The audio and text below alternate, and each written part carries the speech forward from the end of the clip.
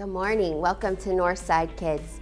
This month we've been talking a lot about patience and the need for it while we're baking.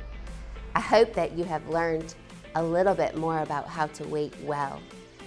We're going to finish up this week by talking about Palm Sunday, the story of how Jesus came to Jerusalem. God had promised a Savior to His people and the promise was finally coming. The wait was over.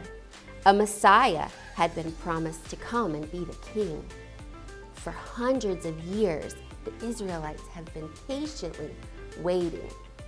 Well, sometimes not so patient. But here they are. They see the king. Some of them believe that Jesus was the king. So that day, when Jesus came riding into Jerusalem on his donkey, just like the prophets had told, the people were so excited. They shouted Hosanna and praised God and gave him the glory. While it looked just like it had been promised, it was not going to turn out the way many of them thought. We learned, we learned through this story that we can still have joy while we're waiting. Let's remember our Bible verse one more time. Psalms 27 14. Wait for the Lord. Be strong and don't lose hope. Wait for the Lord. When we are patient, we will find that there are so many good things that God has for us. Let's listen to Pastor David as he tells us more about when Jesus came into Jerusalem and the people found joy while they were waiting on the promise.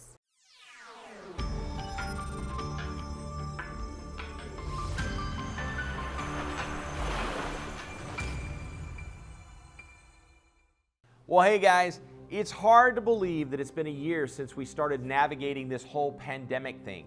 Um, it, it's hard to imagine that that so much has changed in the last year. We use the word COVID friendly the other day. I, I, wouldn't even have used that a year ago. We don't know what that means. COVID friendly? Well, we know what it means now, don't we? It means social distancing, everybody wears masks, make sure you wash your hands a lot. That's a COVID friendly situation.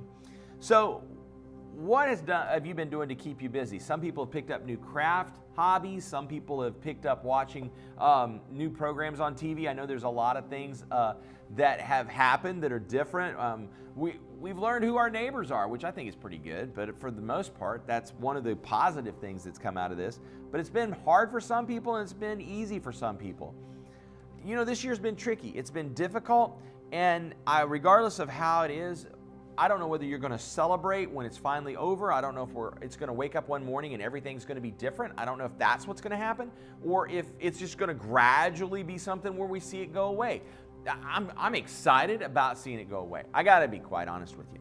So, I want to set up this section by saying that I'm going to give you a series of questions, and those questions have answers. And the A's, uh, the B's, the C's, all those are going to help us with the end. So make sure you pay attention to the questions because all of this has a meaning.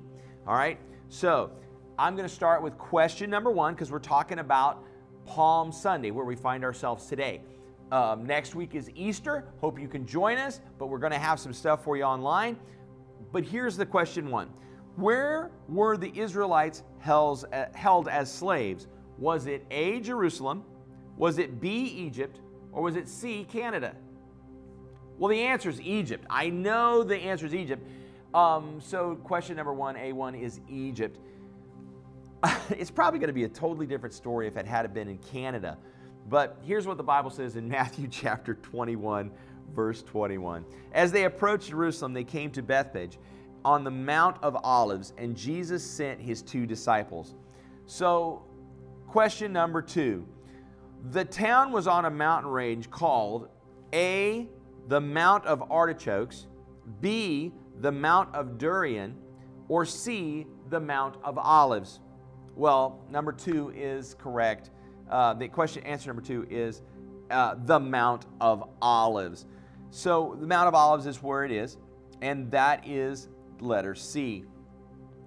As they approached Jerusalem, the Bible says, they came to Bethphage, and it was on the Mount of Olives, and Jesus sent two of his disciples, saying to them, Go to the village ahead of you, and once you are there, you'll find a donkey there with a colt by her.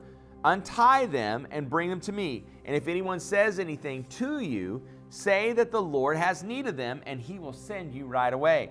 Well, question number three the NFL team called the Colts is based in what city? Is it A, the Indianapolis Colts, B, the Annapolis Colts, or C, the Acropolis Colts? Well, the answer to that one is A, it is the Indianapolis Colts. I kind of figured you'd know that one. So then I'm going to go to Matthew chapter 21, verse 3, 4, and 5. It says, This take, takes place to fulfill what was spoken by the prophet, saying, Say to the daughter of Zion, See, your king comes to you, gentle, riding on a donkey, and on a colt, the foal of a donkey. Okay, who was the prophet of the Old Testament who originally said Jesus would ride on a colt? Was it A, Zimbabwe?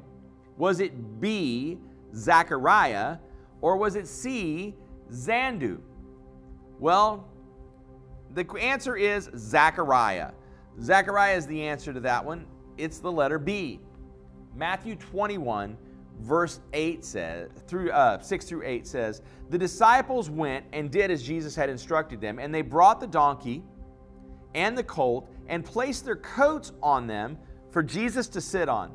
A large crowd grew and spread their cloaks on the road, and others cut branches from trees and spread them on the, the ground.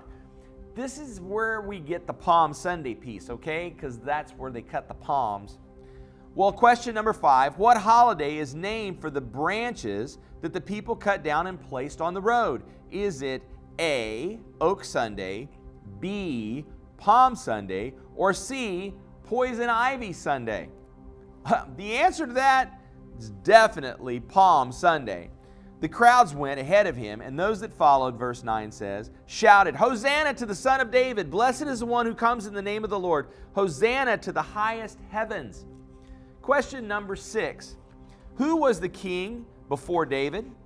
Was it A, King Paul? Was it B, King Saul? Or was it C, King Meatball? Guys, you know this one. Question number six is King Saul. And then verse, uh, chapter 21, verse 10 and 11 says, When Jesus entered Jerusalem, the whole city was stirred up and asked, Who is this? The crowds answered, This is Jesus, the prophet from Nazareth of Galilee. So, here we go. Question number seven What town was Jesus from in Galilee? Was it A, Nazareth, B, Nazareth, or C, Nazar Nazar Frankensmeller? Well, the answer is Nazareth the Bible says in Matthew chapter 19, 39 and 40. So they took him and threw him out of the vineyard and killed him. Therefore, the owner of the vineyard comes. What will he do to these tenants? What is the name that Jesus didn't give the leaders of? Um, was it A, did he call them a brood of vipers? Uh, B, did he call them blind fools? Or C, did he call them bloomers? Well, the answer is A, uh, C, he didn't call them boomers. So you can celebrate even when you're waiting.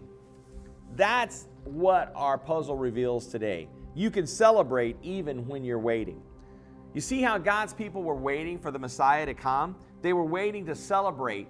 And the Bible says that if they wouldn't have cried out, that the rocks would have cried out. God is still working on what you're waiting for. You can trust God no matter what.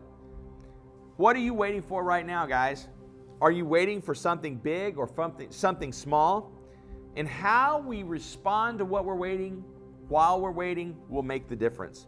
Listen, I know that it's hard to wait, but next week is our celebration week, the greatest celebration for our faith that there is, the Sunday that we celebrate Jesus' resurrection, the Sunday that makes a difference between, between having no hope and having hope.